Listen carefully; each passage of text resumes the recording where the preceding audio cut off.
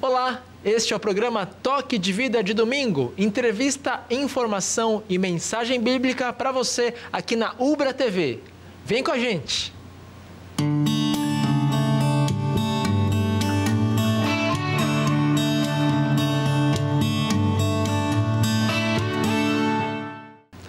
Durante a Segunda Guerra Mundial, ainda menino, Elie Wiesel, escritor judeu vencedor do Prêmio Nobel da Paz, esteve prisioneiro em Auschwitz, na companhia dos pais, irmãos e amigos.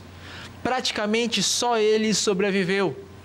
Podemos imaginar até que ponto ele se sentia espoliado. A partir de 1945, quando a guerra acaba, ele passa então anos em que o único objetivo da vida era procurar uma impossível vingança, uma impossível justiça para aquilo que não poderia ser reparável. Como foi possível tamanha dor? Ele se perguntava. E a sua vida era isso. Cada dia adormecia e acordava no inferno. Não conseguia encontrar a sua alma, até que ele foi falar com um rabino e ele então lhe disse: Meu filho, Enquanto tu não perdoares, continuarás prisioneiro em Auschwitz. E esta palavra redimensionou o seu coração para sempre. E você? Você é prisioneiro da mágoa e do rancor? Em certa me medida, todos nós somos. O que podemos fazer para libertar-se dessa prisão?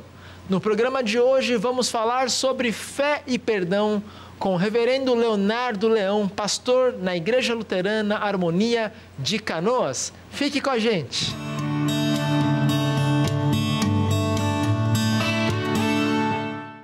Pois bem, vamos falar hoje sobre fé e perdão com o pastor Leonardo Leão. Muito bem, pastor Leonardo, um prazer ter você aqui em nosso programa. Obrigado por aceitar o convite. Por favor, se apresente ao nosso pessoal de casa, diga onde você é, tem o seu ministério, onde você se formou. A palavra é sua. Obrigado pelo convite. Eu me sinto bastante feliz em poder falar de algo tão importante para a nossa vida. Eu sou pastor na congregação São Lucas da Harmonia, em Canoas, um bairro ali próximo à periferia da, da cidade. Eu estou, sou pastor ali há um ano, me formei no final de 2016 Sou natural de Rondônia e casado com uma gaúcha, a Natane Leão, que é minha esposa. Conheceu durante os estudos de teologia foi, aqui? Foi num congresso de jovens lá em Curumim que a gente se conheceu. Poxa, vamos aproveitar e falar de perdão. Imagino que do namoro ao casamento até agora, o perdão seja importante no, no, no casamento, né?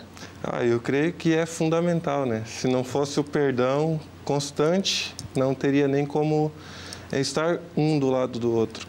É verdade. Pastor Leonardo, por que, que é tão difícil perdoar? Por que, que nós temos essa dificuldade imensa de, de conceder alívio para aquele que está pedindo perdão?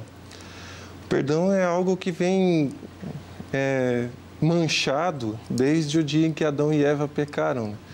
E desde então, quando a gente precisa perdoar alguém, é, ou se desculpar de algo, é algo que afeta o nosso ego, o nosso eu, machuca o nosso eu.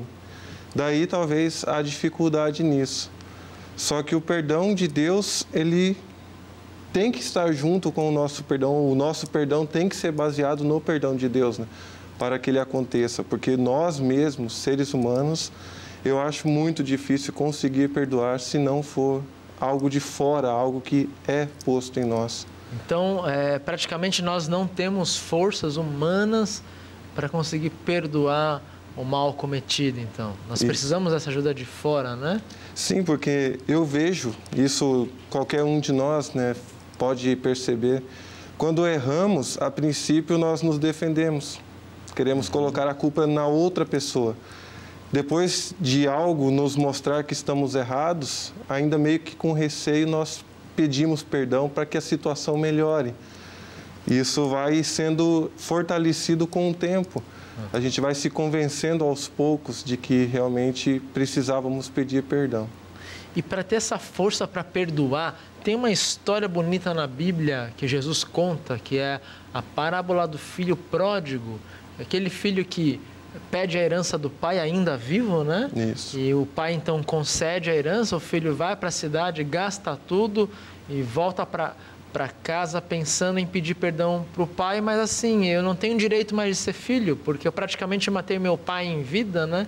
ele vai lá para pedir um emprego, né? Depois de, de trabalhar com na lavoura de porcos, que para um judeu era assim algo horrível, porque uh, a carne de porco é impura para um judeu, né? Sim. Então esse cara vai até o fundo do poço na cultura dele e volta para casa para ser é, para trabalhar para o pai de empregado, para ter o que comer, e esse pai vai lá e não só dá emprego, mas restitui o filho como na posição de filho, né? perdoa, coloca a capa de filho nele, a sandália, né? que era um sinal de, olha, você não vai ser empregado, você vai ser filho, né? Uhum. Você não vai andar, andar, descalço, vai ter uma sandália, coloca o anel, né? o sinete e faz uma enorme festa, né? É, Deus é tão maravilhoso assim que perdoa o filho pródigo? Será que essa parábola pode ser a parábola do pai pródigo que esbanja perdão? Eu creio que a interpretação dessa parábola seria o foco no pai e não no próprio filho, né? Porque se a gente se comparar com essa ação, Deus como pai e nós como filho pródigo, nós erramos constantemente. Nós estamos sempre nos afastando e, e usufruindo daquilo que Deus nos deu. É, por egoísmo próprio. E quando nós somos perdoados, é a mesma ação do pai em perdoar o filho. É, o pai não questionou o filho, não, não, não fez perguntas, não, não quis saber o porquê ele voltou. Não colocou condições. Não colocou assim, condições. Ah, só te perdoo se você fizer isso. E isso é o interessante da parábola. É, o texto também ressalta que o pai ele foi correndo ao encontro do filho. Imagina um senhor, um, um ancião, correndo com aquelas roupas dele, né? Perde o respeito, digamos assim. Ele, ele meio que perdeu o respeito para ter o filho de volta. E se aplicar isso com a ação de Deus na nossa vida, a gente vê que também Deus precisou perder o respeito, digamos assim, né? Deus deixou de lado a, a sua divindade para morrer na cruz por nós. E aí está talvez a comparação tão amorosa dessa parábola, né? É verdade, né? Jesus, ele momentaneamente abre mão de usar o seu poder na cruz para morrer, né? Jesus, é como Deus, morre na cruz, né? Hum. É, então Deus corre até nós em Jesus, né? Morrendo por nós. Que coisa! É muito mais que uma corridinha, então é Deus morrendo por nós. Essa é a fonte do, do perdão para nós também? Eu creio que sim, é, um, é uma busca de Deus pela criação dele, pela algo que nós como cristãos e como não cristãos nós não merecemos, né?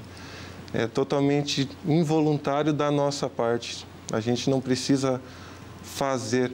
Mas só de saber que isso é de graça, que Deus fez isso por nós, isso nos motiva também a perdoar as outras pessoas. Porque a nossa sociedade, ela está embasada no perdão. De certa forma, precisa haver perdão para que o ser humano consiga conviver com outro ser humano. E quando Jesus fala ali da gente perdoar 70 vezes 7, né? Parece uma tarefa muito difícil, é, o que, que ele queria dizer com isso? A gente tem que fazer a conta e dizer, olha, a gente vai perdoar 200 vezes, 300 vezes, enfim, 490, mil. É um número matemático que Jesus está dizendo aqui? Eu creio que não seja, porque os judeus eles levavam bastante a sério essa, essa lei ou essa regra de perdoar sete vezes a pessoa que lhe ofendeu já é um número. Sete vezes literais, assim, isso. matematicamente falando. Eles estavam. Sete. A pergunta até do, do, do, discípulo foi sobre isso, né? Foi se sete vezes é suficiente mesmo. E, e se olhar, sete vezes já é muita coisa. Imagina uma pessoa errando contra você sete vezes, você ainda perdoando essa pessoa. Só que Deus mostra uma outra dimensão desse perdão, mostra uma outra quantidade, que aí entra uma quantidade exorbitante Quantas vezes uma pessoa vai chegar a errar contra você 200 ou 200 e poucas vezes? Claro que se levar ao pé da letra, mesmo assim que são muitos perdões. Eu creio que não é. É para exemplificar que o perdão de Deus é muito maior. E nós, agora como cristãos, vivemos esse perdão. e também passamos esse perdão às outras pessoas. Puxa, então não é um número ali literal, né? Jesus está dizendo assim: olha, perdoe quantas vezes for necessária, né? Isso, porque aí senão a gente colocaria um limite também no perdão de Deus. E quando a gente pensa no perdão de Deus, a gente pensa nos nossos pecados e diz: olha, que ótimo que Jesus morreu por mim, né? Mas será que a gente pode dizer também que Jesus morreu pelos pecados das pessoas que foram contra a gente? Dá para dizer isso? Então a gente tem que perdoar, porque Jesus já perdoou o pecado que aquela pessoa cometeu contra mim? Ou estou exagerando aqui? Não, com certeza absoluta. Porque toda a obra de Cristo, ela envolveu a nossa vida de uma forma que a gente não consegue perceber. E olhando esse aspecto de a pessoa que pecou contra nós tem esse perdão, claro que tem, porque em João 3,16 o texto bíblico é bem claro, né? É, Deus amou o mundo de tal maneira. Uhum. Ele não falou Deus amou os cristãos de tal maneira. Ele foi mais amplo, ele falou a humanidade em si. E esse perdão também está quando um irmão que não crê, talvez, é, nos, nos atinge, nos afeta com o seu pecado. E também nós, quando afetamos as pessoas com os nossos pecados. Né? Na Bíblia tem a história de José, né? Por que, que ela pode ser um exemplo de perdão humano, né? de um humano perdoando outros? O que, que José fez de tão de tão exemplar nessa área do perdão? Olha, ele pregou muito o amor de Deus com o perdão, né? E ele viveu melhor também com o perdão que ele deu aos irmãos e, ao, e a toda a família. Porque o que a gente vê naquela história é algo bastante doloroso, né? A inveja, a intriga que, que havia entre os irmãos. E aquilo acarretou que um deles fosse vendido. E, e Deus cuidou desse. Cuidou também dos outros, é claro, mas cuidou especialmente daquele que foi vendido, né? E, e ele repassou esse cuidado quando perdoou os seus irmãos. Então José né, ele é vendido como escravo ali para os midianitas que depois levam ele para o Egito, né? Isso. E aí tem uma época de fome no, em toda a parte do Oriente Médio e os irmãos vão até o Egito buscar comida e José aí então era era o governador do Egito, né? Passaram-se vários anos, né? Ele teve a chance de aniquilar os irmãos, né? De se vingar. Talvez a gente teria essa vontade, né? De dizer, uhum. olha, eu mando aqui, agora vocês vão morrer, vão ser presos. Ele poderia ter feito isso, mas ao contrário, ele dá terras para os irmãos é, morarem, é, uhum. plantarem, colherem, salva a vida deles, né? Ele não só perdoa de boca, mas perdoa com uma bonita ação. Né? Uhum. Inclusive, quando o pai dele morre, né? Quando, quando, quando morre, o pai e os irmãos ficam assim: olha, eu acho que agora ele vai nos matar. O nosso pai Jacó morreu, né? Ele vai nos matar. E ele, de novo, diz lá na Bíblia, em Gênesis 50, né? Uhum. perdoa os irmãos e fala aquela bonita frase, né? O que vocês fizeram de mal para mim, Deus transformou em bem. Né?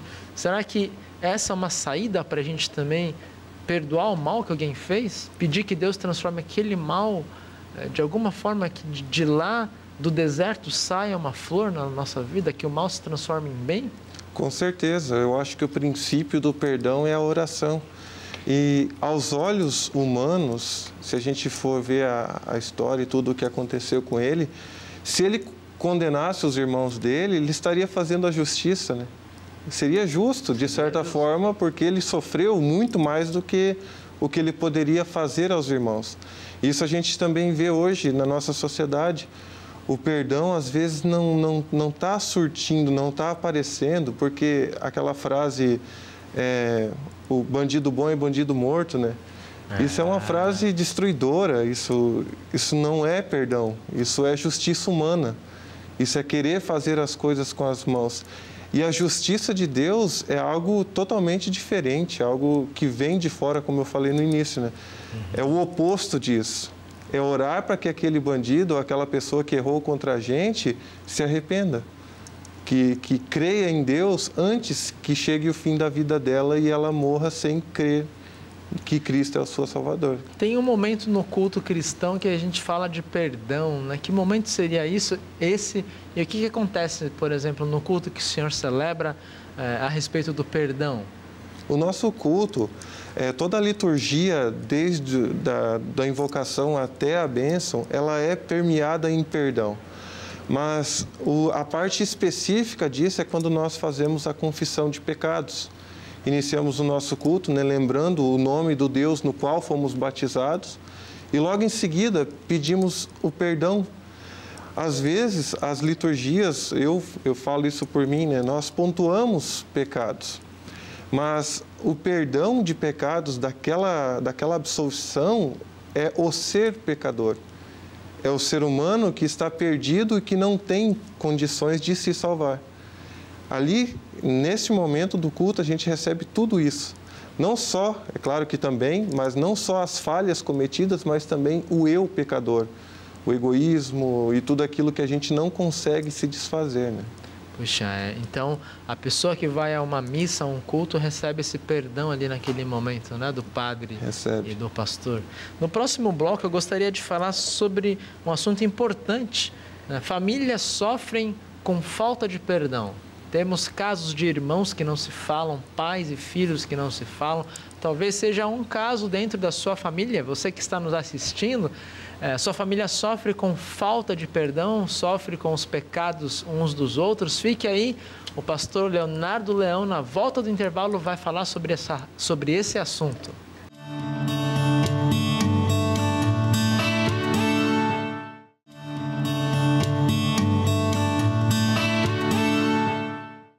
Muito bem, nós voltamos para falar sobre fé e perdão com o pastor Leonardo e a pergunta que nós temos para iniciar o bloco é Pastor Leonardo, famílias sofrem com falta de perdão. Temos problemas de pessoas que não se falam há anos, há décadas, porque não se perdoam.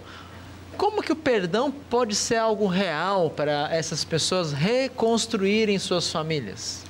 O perdão, na verdade, é fundamental para que se reconciliem, para que resolvam essa situação.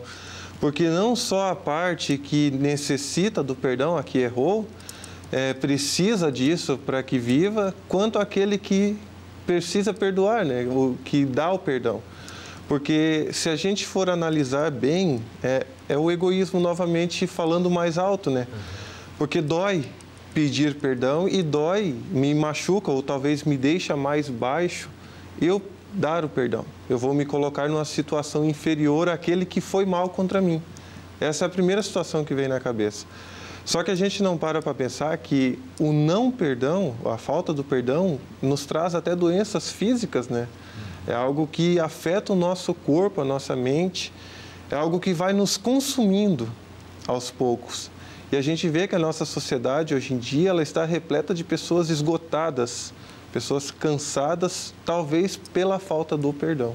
É guardar mágoa, rancor é tomar veneno esperando que o outro morra, né? Isso é verdade. Ou fazer gol contra achando que vai contar pro seu time, né? Porque uhum. você só se prejudica, né? Então, realmente, perdão é a única saída para famílias que vivem com rancor e mágoa, né? O que, que o senhor poderia dizer para pessoas que estão lutando com, com a dificuldade de perdoar? É... O que, que ela pode fazer? A primeira possibilidade, ou talvez um primeiro passo para que isso aconteça, seria orar. Pedir para Deus a força de perdoar alguém ou pedir desculpas. Porque, como eu falei, é algo muito difícil, é algo extremamente difícil. Só que quando a gente pede o auxílio de Deus para que isso aconteça, pede o fortalecimento do Espírito Santo que habita em nós, é, é, isso vai se tornando mais fácil no decorrer do, do tempo e Deus vai fortalecendo para que a gente consiga dar o próximo passo de nos perdoar. Não é assim algo rápido, então ah, me dê forças para perdoar e amanhã já consigo. Pode ser um processo que leve mais tempo. Sim, então, sim, né? eu falo isso por mim também, por experiência própria. Eu creio que isso é algo que leva até anos, se, sim, for, é. se for a situação um pouco delicada. Só que quando isso acontece, um peso é tirado, né? Verdade. Algo, a, reconciliação funciona. E sempre lembrando, os, a nosso perdão, a nossa, o perdoar o próximo, está sempre embasado em Cristo, né? Sempre lembrar que Cristo já nos perdoou de algo muito maior que nós não poderíamos nos desculpar por isso, né? E o perdão transforma vidas, né? Você que está em casa e quer ver uma bonita história sobre perdão, além de ler a Bíblia e a parábola do filho pródigo, lá em, em, Lucas capítulo 20, e também a história de José no livro de Gênesis, você também pode é, ler ou assistir a obra Os Miseráveis. Ali você tem o Jean Valjean, que era um criminoso, um andarilho que estava. Aliás, ele havia sido preso injustamente, fugiu então ele era um, um, alguém que estava sendo procurado pela polícia e um padre o acolhe, um sacristão acolhe Jean Valjean e dá do melhor possível, comida, cama, banho. E Jean Valjean vê os castiçais de prata, vê os utensílios de prata da igreja, né? coloca tudo num saco, de madrugada sai, a polícia pega ele e leva ele de volta para a igreja. Quando a polícia vê o sacristão e o sacristão diz assim, olha é, eu dei tudo para ele e ele esqueceu uma coisa. Então o padre, né, o sacristão, volta para dentro, é, pega o candelabro de prata e dá para Jean Valjean. Não lembro se era o padre ou o sacristão, mas o fato é que o pároco ali dá mais coisas de prata e fala: vai em paz agora. Então Jean Valjean é, é, é alcançado pela graça, pela misericórdia, pelo perdão e fica atordoado. Ele não consegue nem sequer vender aquela aquela prata e aquilo muda a vida dele. Ele passa a ser uma pessoa que se dedica ao próximo, né? Então, se você perdoar alguém, você pode mudar a vida dessa pessoa e você mesmo muda a si mesmo. Pastor Leonardo, o que, você poderia dizer para uma pessoa é, do outro lado, lutando para pedir perdão? Sabe que está errada, mas não consegue pedir perdão para o marido, para a esposa, para os filhos, para o pai, para a mãe? É, primeiramente, lembrando isso aí que você mencionou, é algo bastante importante com relação, porque o que muda não é a lei, ou seja, uma regra ou fazer, faça isso. Talvez facilite colocar regrinhas, né? Que aí a pessoa segue e faz aquilo. Mas o que muda realmente o ser humano e a atitude com as pessoas é o perdão, é aquela surpresa, é o evangelho que Deus nos deu. Então, se você começar a praticar o perdão, é, pedir para Deus que comece a agir em você para que você consiga perdoar, é, a tua vida vai ter uma mudança para melhor, com certeza. Eu não falo assim financeiramente, mas eu digo uma vida mais tranquila, uma mente mais tranquila e mais em paz com o próprio Deus. Que bom, né? Eu queria que o senhor terminasse falando um pouco da sua congregação, o horário de culto, o local, forma de contato, se as pessoas querem ouvir mais sobre o perdão, é, quando que elas podem encontrar o senhor na igreja, que horário são as reuniões que vocês têm lá, por favor. Os nossos cultos são primeiro domingo domingo de manhã, no primeiro final de semana, no domingo de manhã, e os outros finais de semana no sábado às 6 horas e no domingo às 10 da manhã. Domingo, então é só um domingo por mês? O primeiro do mês é domingo de manhã. Que é às 10 da às manhã? Às 10 da manhã. E os outros sábado às 6 horas da tarde. É, nós temos um hall de membros com em torno de 114 a 120 membros temos uma congregação. É um trabalho fabuloso que a gente está novamente retomando agora. Eu estou ali há um ano, começando um trabalho que já vinha com a congregação. E está sendo um trabalho muito prazeroso, porque a gente está tendo a oportunidade de Deus, que Deus nos deu, de levar o perdão também às pessoas do bairro. Que a gente, no Dia das Crianças, a gente até estendo o convite a quem quiser participar nós fazemos um programa para as crianças voltada às crianças do bairro. Convidamos elas com programação, brincadeira e comida. É, temos servas, leigos e trabalhos de visita a membros. Eu, eu faço até, eu me coloco à disposição até dos que não são membros de visitá-los nem que seja levá-lo até o serviço e nesse momento a gente converse a respeito. E como a pessoa pode entrar em contato com o senhor para pedir essa visita, por exemplo, para conhecer mais da igreja? Temos o telefone da igreja, 3466-2002. Temos o meu celular também, que é o WhatsApp, 9542-4376, adiciona o 9 no início, né? E também o e-mail, é leonardoleão11 arroba hotmail.com, sem acento em nada. O endereço da igreja, lá no bairro Harmonia, onde É, fica? Rua Graciliano Ramos, número 43, esquina com a Clóvis Bevilacqua, Harmonia. Você falou de grupo de servas e leigos, né? Então tem um grupo de mulheres que se reúne ali também para falar sobre perdão. Ah, sim, Acontece quando essas reuniões para as mulheres? Das mulheres são a segunda e a quarta sexta do mês e os homens a primeira e a terceira sexta do mês às sete e meia da Os, noite. os dois grupos, sete e meia da noite, Isso. então. Aí eles se intercalam um final de semana eles e outro elas. Tem também trabalho com as crianças, né? Eu, eu imagino durante o culto tem a Isso. escola bíblica. né? Durante o nosso culto nós é, chamamos as crianças no, um pouquinho antes da mensagem e lá as professoras fazem um trabalho com elas é, de dar continuidade ao culto que nós estamos tendo, com a mesma temática, com a mesma, o mesmo texto bíblico, mas de uma forma infantil, para que eles possam entender. Que legal. Então você que está aí com dificuldades para perdoar ou pedir perdão, entre em contato com o pastor Leonardo Leão. Ele, ele passou então a todos vocês a forma de contato. Ele vai ter a alegria de visitar vocês ou de receber vocês eh, na igreja dele. Eh, pastor eh, Leonardo Leão, nós vamos depois desse bloco ter uma música que eu convido que vocês permaneçam e assistam, né? Mas eu queria já agradecer a presença do Senhor por aceitar esse convite de falar de perdão e pedir que Deus abençoe a sua vida, né, o seu ministério ali na Igreja Luterana do bairro Harmonia, abençoe o seu casamento, enfim, que, que Ele esteja eh, contigo.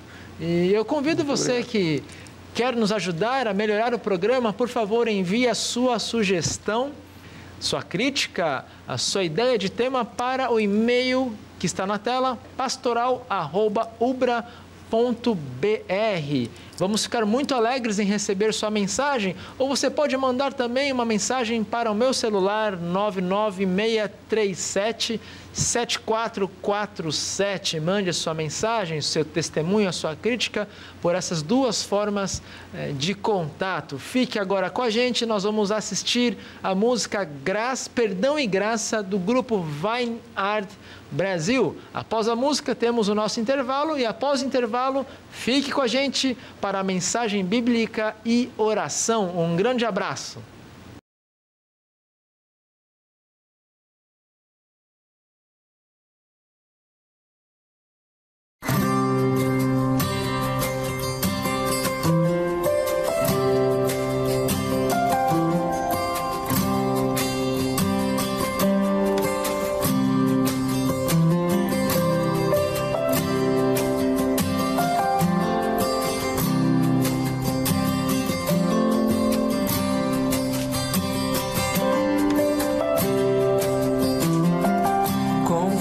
Confesso a ti, Senhor, que fraco eu sou. Tão fraco eu sou, mas forte tu és. Eu venho a ti, Senhor, sem nada pra dar. Só quero pedir, vem e ajuda-me, ó Deus.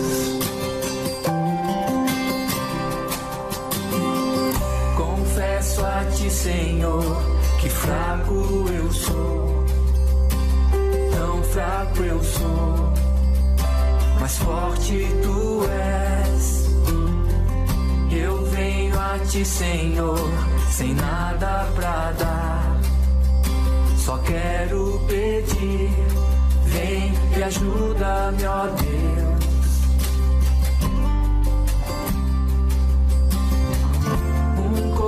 Coração quebrantado e humilde. Não rejeita, Senhor. Estenda a mim tua graça e deixe teu amor fluir. Por misericórdia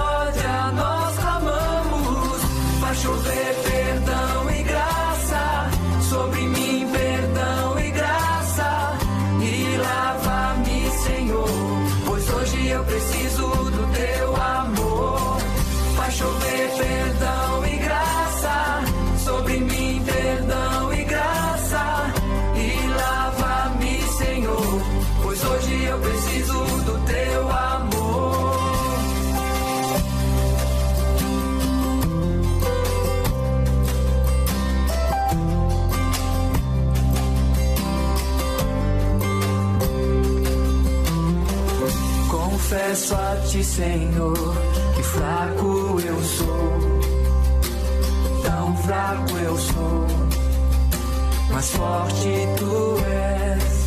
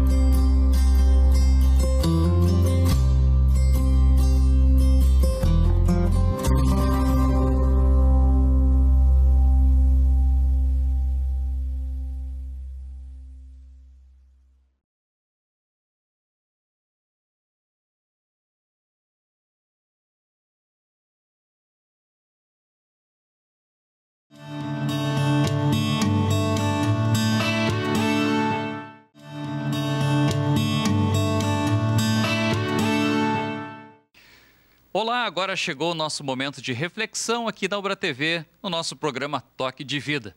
Seja muito bem-vindo para ouvir a palavra de Deus e orar pedindo força e conforto do próprio Deus para as nossas vidas. Eu imagino que essa semana possivelmente tenha sido meio conturbada com desafios, tristezas, por outro lado, alegrias, mas nada melhor do que você aproveitar bem essa manhã de domingo para estar mais ligado a Jesus Cristo que nos perdoa, nos alivia e também nos dá a verdadeira alegria de viver. Nós estamos agora no período da quaresma, é o quarto domingo na quaresma, que é um período de reflexão, de preparo, quando analisamos a nossa vida à luz daquilo que Jesus fez por nós. Então nós seguimos essa caminhada junto com Jesus rumo à Semana Santa, quando então no domingo de Páscoa toda a igreja cristã irá celebrar a ressurreição de Cristo, a vitória sobre a morte. Fique conosco.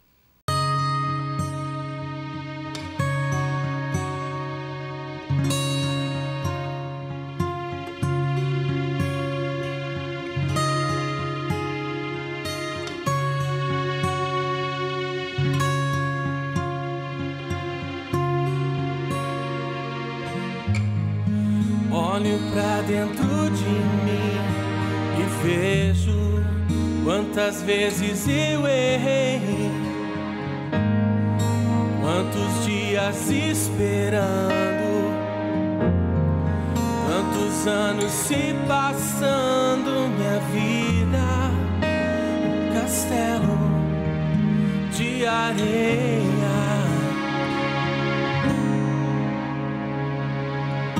Veja o caminho percorrido para chegar até aqui.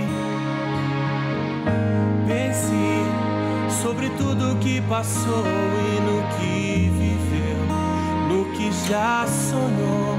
Se soubesse que ainda há tempo, o que você faria?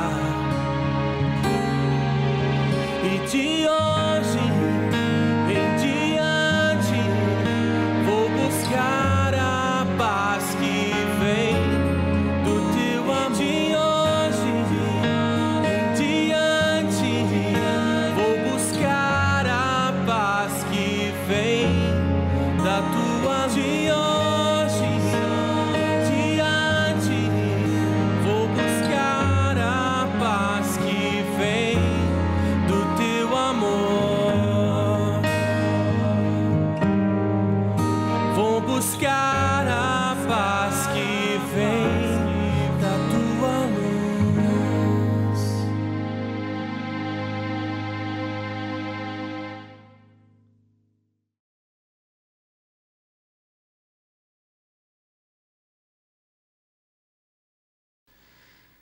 Neste domingo, o salmo previsto é o salmo número 107.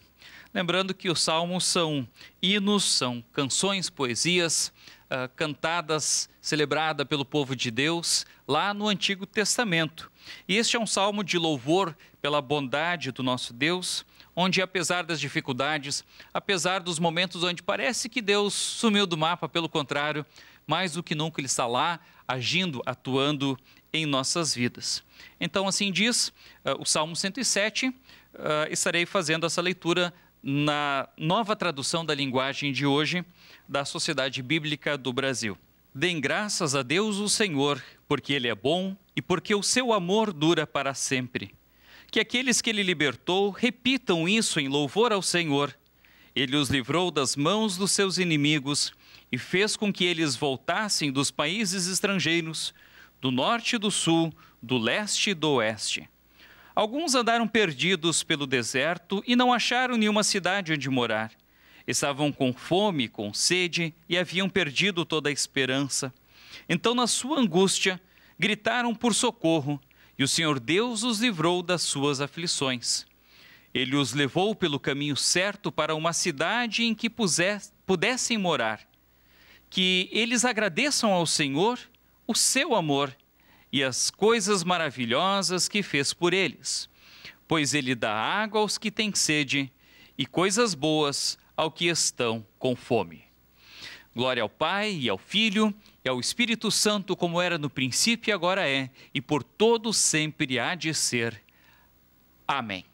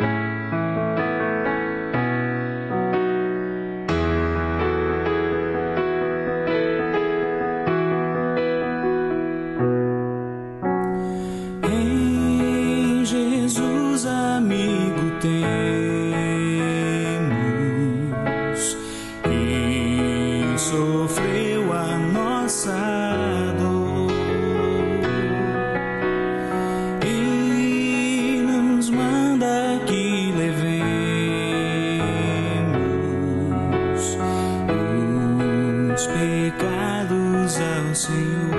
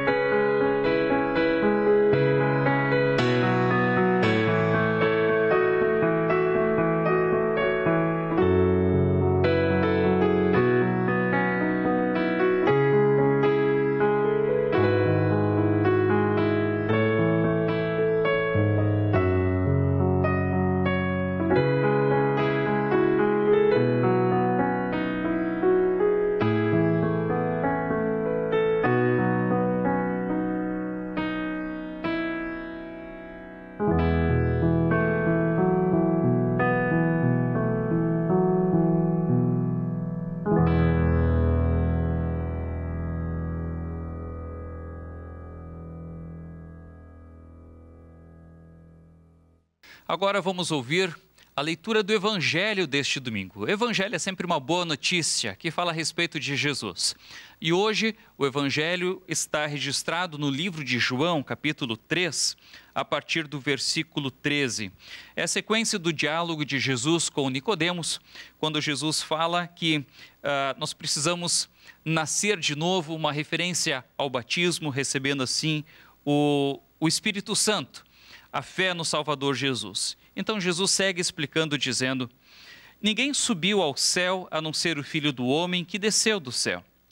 Assim como Moisés no deserto levantou a cobra de bronze numa estaca, assim também o filho do homem tem de ser levantado, para que todos os que crerem nele tenham a vida eterna.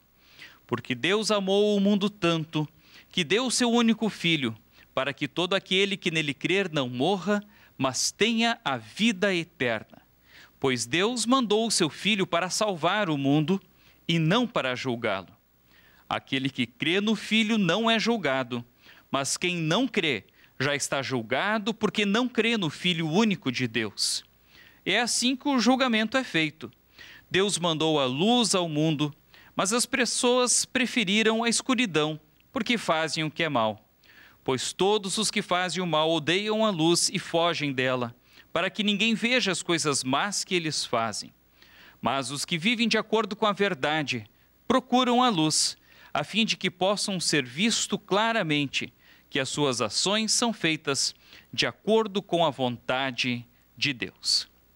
Até aqui, então, portanto, essa leitura do Evangelho deste domingo.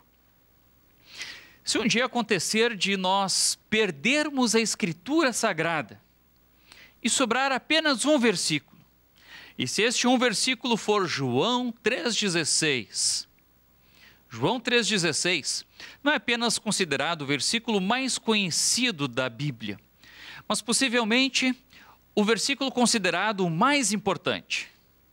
Por quê? Porque ali está o resumo de toda a Escritura está o mais doce e puro Evangelho, quando mostra a forma como Deus nos amou e o tamanho do seu amor. Ali diz: Deus amou o mundo de tal maneira. Outra tradução é: Deus nos amou tanto, né, essa intensidade, que deu o seu filho por nós. Já outra tradução, e talvez a melhor, conforme o original grego, é a seguinte: Deus nos amou de tal maneira, em outras palavras, Deus nos amou assim, ou desta maneira. Dois pontos. Que maneira? Como Deus nos amou? Dando o seu único filho, Jesus Cristo, para que todo aquele que nele crer, crer em Jesus, não morra. E essa morte é, é uma é um, uma palavra muito forte. Essa morte é realmente a perecer, é morrer, levando sobre si a condenação eterna. Mas, por outro lado, quem crer no Filho, quem crer em Jesus, não terá essa morte, pelo contrário, terá a vida eterna.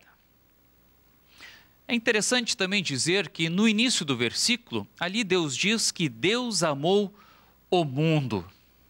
E ali esse termo grego mundo é cosmos. Cosmos não é utilizado como uma apenas como uma tradução de, de mundo, de todas as pessoas.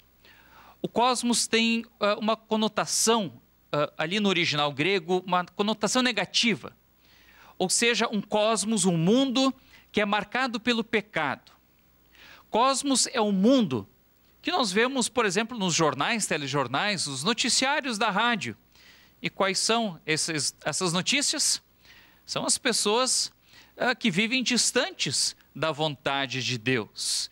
Cosmos tem a ver com a incredulidade, com a perversidade, com o distanciamento da glória e da verdade de Deus. As pessoas fazendo coisas muito erradas. Toda a corrupção, a maldade do mundo. E justamente esse mundo, é este cosmos que Deus amou. Esse mundo que, por natureza, após a queda em pecado, é inimigo de Deus. Deus vem ao seu encontro sacrificando o seu filho. E este é meio como se fosse assim, nós chamamos de um escândalo da cruz. Por quê? Racionalmente, o ser humano não consegue compreender. Ninguém faria isso por outra pessoa, dar a sua própria vida. Mas para aqueles que creem, isto é o poder de Deus, isto é o amor de Deus, isto é a dádiva de Deus. E merecida, é verdade. Mas em função da nossa vida pecaminosa, ele faz de tudo. E aí nós vemos o que ele faz e qual é o tamanho da sua graça.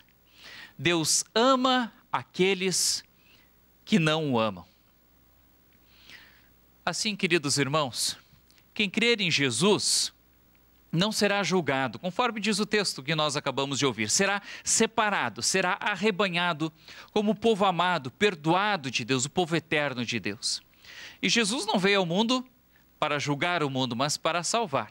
No evangelho deste domingo, Jesus fala a respeito de uma história, uma história lá do Antigo Testamento. É a história onde o povo de Deus está no deserto reclamando que estavam ali é, sem muita ajuda, e, e então, de tanto reclamar, Deus acaba enviando serpentes, cobras, que estava picando o povo e, os estavam matando. E então o povo fica apavorado e pede para Moisés orar, interceder a Deus. Isso ele faz. E então Deus manda o Moisés fazer uma serpente de bronze e amarrá-la, fixá-la num, num, poste, uh, numa cruz. E então é, Deus diz: olha, qualquer pessoa picada por uma cobra que olhar para essa serpente de bronze numa cruz uh, não irá morrer, será curado. E assim aconteceu. Por que, que Jesus faz referência a esse texto do Antigo Testamento? Porque esse texto do Antigo Testamento é assim chamado de tipo. É, e Jesus então traz o antítipo, ou seja, é como se fosse uma maquete. Todo arquiteto, antes de construir uma casa, ele gosta de fazer uma maquete. É uma representação para ali ter uma ideia de como irá ficar a casa depois em definitivo. Dessa, dessa mesma forma, Jesus vai ser o cumprimento plena, de uma forma plena e real, daquilo que ocorreu nessa história do Antigo Testamento. Porque Jesus é levantado numa cruz e todos aqueles que olham para Jesus, que creem nele, são curados, são salvos. Vejam, por exemplo, os textos bíblicos que relatam a morte de Jesus. Sugiro que vocês leiam uh, durante esse dia ou em outro momento os textos que, que estão lá no final dos evangelhos, que falam dessa morte de Jesus, eh, de uma forma tão humilhante, onde aos olhos humanos foi completamente injusta. Ele não tinha nenhum pecado.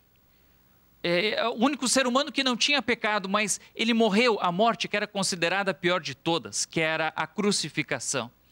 Jesus morreu sendo considerado o maior criminoso. Só que Jesus, na verdade, é o Cordeiro de Deus, é aquela ovelha perfeita, sem pecado, que dá sua vida em sacrifício de uma vez só por todas, levando sobre si todos, todos os nossos pecados. Assim, em Cristo nós temos a vida, e não uma vida qualquer, temos a vida verdadeira, uma vida plena, uma vida onde Deus reina no mundo e na eternidade. Queridos irmãos, quão grande é esse amor de Deus. Vejam não somente o tamanho do seu amor, que é imensurável, mas vejam também a forma como ele nos ama. Deus, de uma forma imerecida, de uma forma incondicional, de uma forma vicária, nos concede esse amor em Jesus. Em João 15, 13 está escrito: né, o próprio Jesus diz: Não existe maior amor do que este, de alguém dar a própria vida por causa dos seus amigos. E vós sois meus amigos, se praticais o que eu vos mando. Assim, em Cristo, nós somos iluminados com a sua luz, a luz do perdão, a luz da verdade, do verdadeiro amor, da verdadeira paz. E essa luz que é a grande verdade, nós queremos também demonstrar em atitudes, em ações para o nosso próximo, levando essa luz, esse brilho de Cristo também às pessoas que estão em nossa volta. Lembrem desse amor de Deus e amem assim ao próximo, conforme esse mesmo mandamento, né, o, o maior mandamento de todos que o próprio Jesus nos ensinou. Amem a Deus acima de todas as coisas e também ame ao próximo como a ti mesmo. Pense nisso. Amém.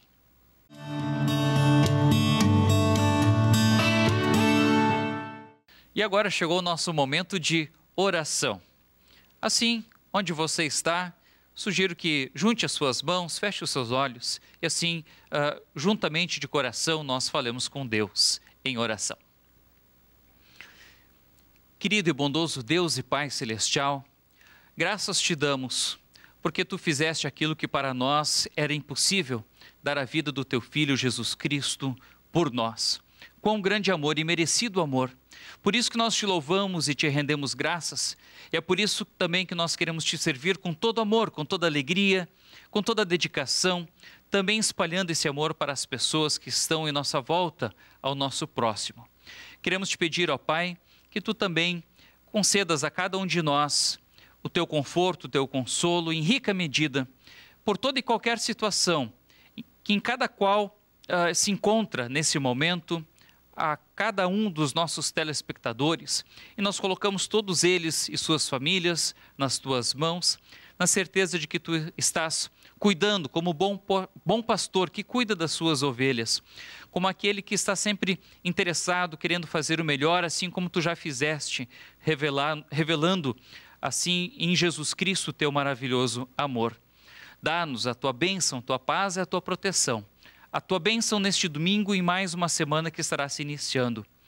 Cuide de cada um de nós, concedendo também saúde e enviando os teus santos anjos, para que em Cristo nós possamos assim enfrentar toda e qualquer situação.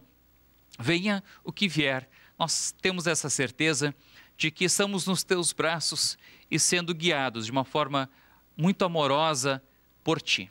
Em nome de Cristo, teu Filho, nós assim pedimos e também agradecemos. Amém. Estamos agora chegando ao final de mais uma edição do Toque de Vida de domingo. Mas você pode seguir acompanhando de segunda a sexta, os drops diários, às 8 horas da manhã e também aos sábados, meio-dia e 50.